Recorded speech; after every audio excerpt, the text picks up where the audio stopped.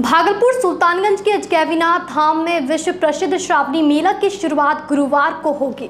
जिसकी तैयारी को लेकर जिला प्रशासन के निर्देश पर युद्ध स्तर पर गंगा घाट एवं कच्ची कांवरिया पथ में कार्य चल रहा है। वहीं सावन को लेकर अजगैविनाथ में विभिन्न जगहों से आने वाले कांवरिया जत्था की भीड़ गंगा घाट पर उमड़ने लगी है। जबकि कांवर और पूजन सामग्री की दुकान भी सच धज कर तैयार है। इधर श्रावणी मेला को लेकर कांवर दुकानदार का कहना है कि कोरोना महामारी के कारण दो वर्षों तक मेला नहीं लगा था जबकि सरकार की अनुमति पर इस वर्ष के श्रावणी मेला को देखते हुए कांवरियों की भीड़ अजगैविनाथ धाम में जुटने लगी है।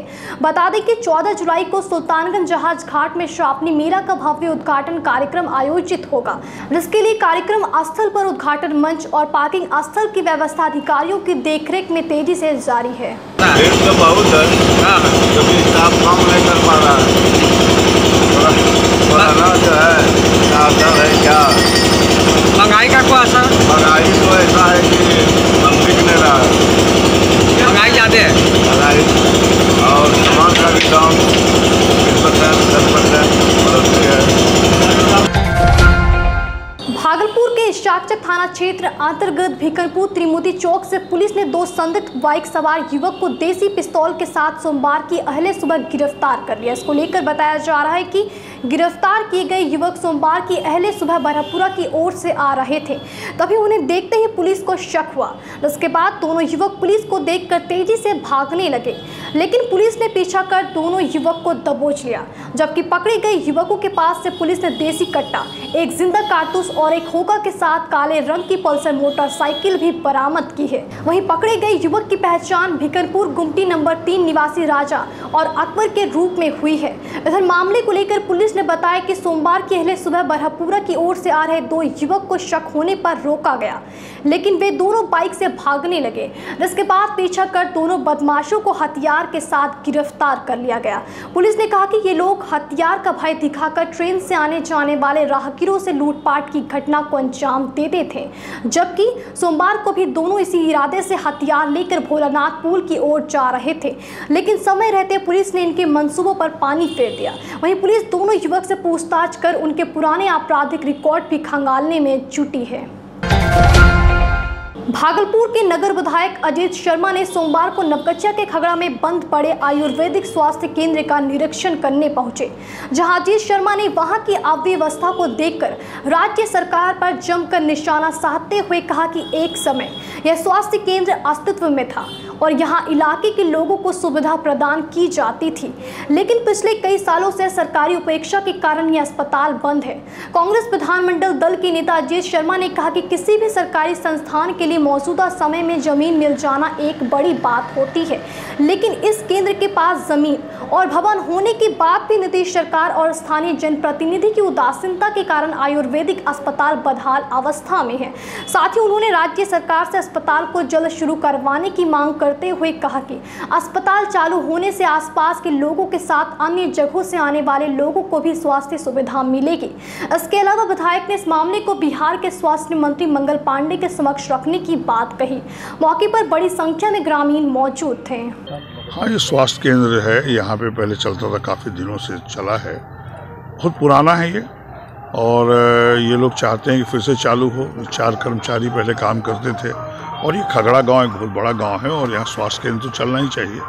मैंने इन लोग कहा है कि आवेदन हमारे नाम से दे दीजिए, मैं माननीय मंत्री स्वास्थ्य विभाग से, मंगल पांडे जी से बात करूँगा। और ये लोग कहते हैं कि वो मिले थे तो ये लोग जिला परिषद के अंड- अधीन है। तो अधीन किसी के नहीं होता है, सब सरकार के अधीन है। और मैं चाहता हूँ कि मैं ये आवेदन जब आएगा तो हम मंगल पांडे जी से मिल के इसको चालू कराने का काम करेंगे। दिनों ट्रक पर दुर्घटना होना जैसे आम बात हो गई हो, जिसमें अक्सर लोग अपनी जान भी गंवा देते हैं। लेकिन अक्सर ट्रेन की चपेट में आने वाले लोग खुद ही इस तरह की घटना और अपनी मौत के लिए जिम्मेदार होते हैं।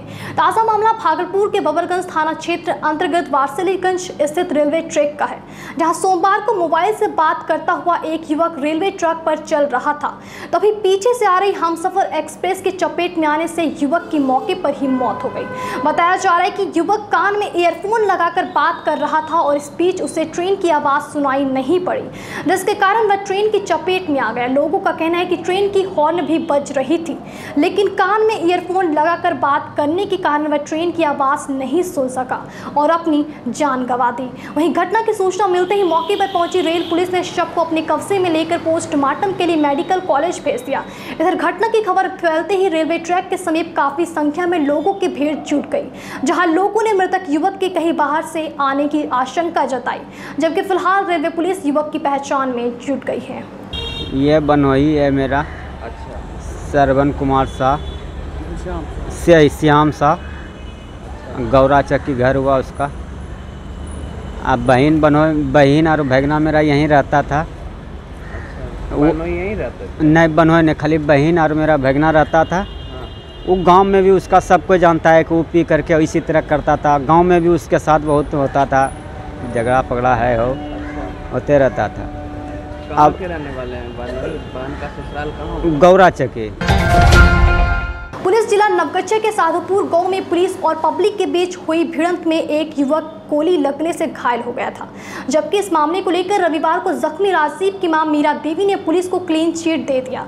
मीरा देवी ने कहा कि राजीव पुलिस की गोली से घायल नहीं हुआ था, बल्कि उसे किसी और ने गोली मारी थी। हालाँकि अब तक यह पता नहीं चल सका है कि युवक को गोली किसने मारी। वहीं घटना को लेकर बताया जा रहा है कि घटना के वक्त रंगरा थाने की पुलिस जब राजीव को बचाने के लिए पहुँची तो ग्रामीणों ने पुलिस पर ही राजीव को गोली मारने का आरोप लगा दिया। बता दें कि राजीव का इलाज भागलपुर के जवाहरलाल नेहरू मेडिकल कॉलेज अस्पताल मायागंज में चल रहा है। और राजीव की माँ मीरा देवी ने पुलिस के समक्ष अपने लिखित बयान में पुलिस को घटना के लिए जिम्मेदार नहीं बताया है। वहीं इसके बाद मामले में पुलिस ने ज्ञात अपराधियों के विरुद्ध हत्या का प्रयास करने की प्राथमिकी दर्ज कर ली है। इधर नवगछिया एसपी शांत कुमार सरोज ने कहा कि साधुपुर गाँव में हुए पुलिस कर्मियों की पिटाई के दौरान कई मोटरसाइकिल और चार चक्का वाहन को क्षतिग्रस्त कर दिया गया था, जबकि मामले में पुलिस ने 100 नामजद और 300 अज्ञात लोगों के विरुद्ध प्राथमिकी दर्ज कर अनुसंधान शुरू कर दी है काल होले कि काल सर हियाँ से गेले और दूसरा आदमी पर मारे का आदमी तुरंत सर का नाम लगा दिलके बगल वाला आदमी कि सर न मरा मरने के।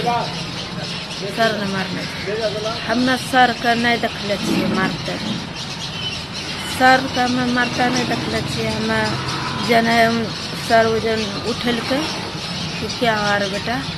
तो हम हुआ से एजे तो हम कहली फटक्का उटक्का छोड़ल कि छोड़ल घर में बोल सब एने से दौड़ल सर ने उठा के भागलपुर सुल्तानगंज के अजगैविनाथ धाम में आषाढ़ मास के अंतिम सोमवार को लेकर गंगा स्नान के लिए हज़ारों शिव भक्तों की भीड़ उत्तरवाहिनी गंगा तट अजगैविनाथ पर उमड़ी।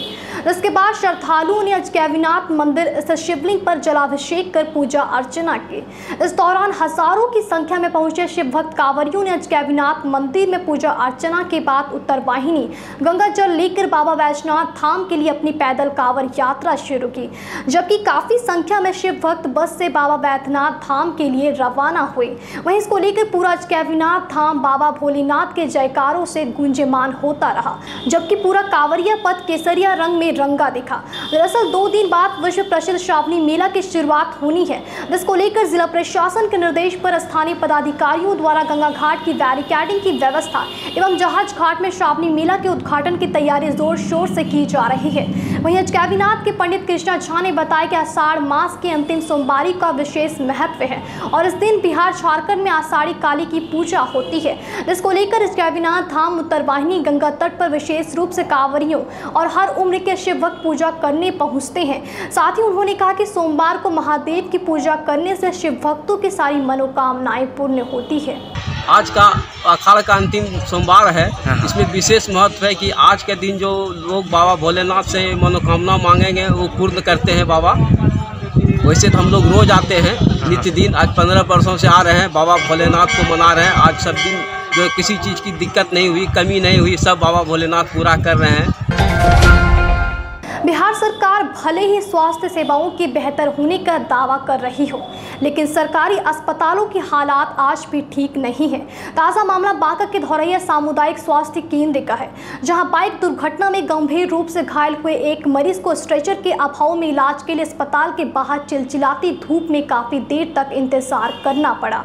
दरअसल धौरैया थाना क्षेत्र अंतर्गत धौरैया पंजवारा एस चौरासी चलना मोड़ के समीप दो बाइक की आमने सामने की टक्कर हो गई थी, जिसमें दो व्यक्ति गंभीर रूप से जख्मी हो गए और स्थानीय लोगों की मदद से दोनों घायलों को धौरैया अस्पताल पहुँचाया गया, जहाँ काफ़ी देर तक इंतज़ार के बाद चिकित्सकों ने प्राथमिक उपचार कर गंभीर हालत में बेहतर इलाज के लिए भागलपुर मायगंज अस्पताल रेफर कर दिया।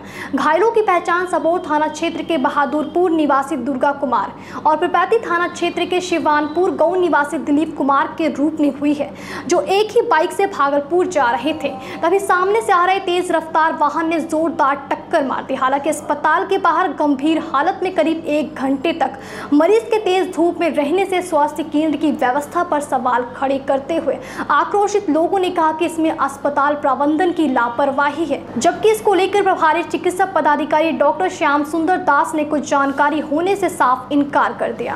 ओ, तो यहाँ इलाज हो रहा है? मेरे कंपनी में वो दोनों लड़का काम कर रहा है। वो छुट्टी होने के बाद एक बजे छुट्टी होता है तो वो दोनों अपना निकला है घर जाने के लिए। उसके बाद हमको फ़ोन आता है कि चलना मोड़ में एक्सीडेंट हो गया है। कोई सिंगारपुर का कोई मोटरसाइकिल है जो एक्सीडेंट किया है उसका? उसके बाद वहाँ से ऑटो से ये लोग किसी तरह कोई आदमी पब्लिक उधर से भेजा गया है यहाँ पर। और 40 मिनट पहले हमको फ़ोन आया हुआ है। 40 मिनट हो गया हमको अडानी से यहाँ आने में बाइक से। और अभी तक स्ट्रेचर पे कोई आदमी नहीं ऑटो पे जैसा का तैसा पड़ा हुआ है।